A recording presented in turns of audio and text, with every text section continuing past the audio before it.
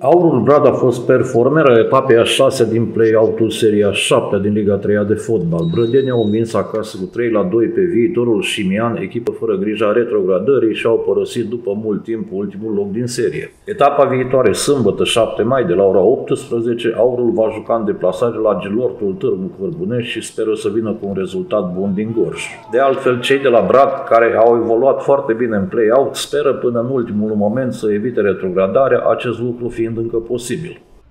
Am întâlnit cel mai puternic adversar din play-out și mă bucur că am reușit să obținem o nouă victorie. A fost un meci destul de greu, în care am muncit foarte mult, iar până la urmă munca ne-a fost răsplătită în prelungire, reușind să marcând golul victoriei prin Danciu, care îl felicit pentru această reușită. La Cărbunești ne va aștepta un meci extrem de greu, ca și toate celelalte de până acum. Sper să fim apți din punct de vedere fizic și să obținem un rezultat pozitiv. O să sperăm până în ultimul moment, atât timp cât mai avem șanse matematice, noi o să luptăm și sperăm ca să ne îndeplinim obiectivul și anume evitarea retrogradării.